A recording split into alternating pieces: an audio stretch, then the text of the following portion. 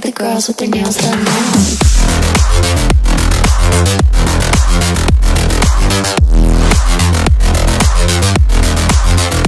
Girls with their nails done. Like the girls with their nails done.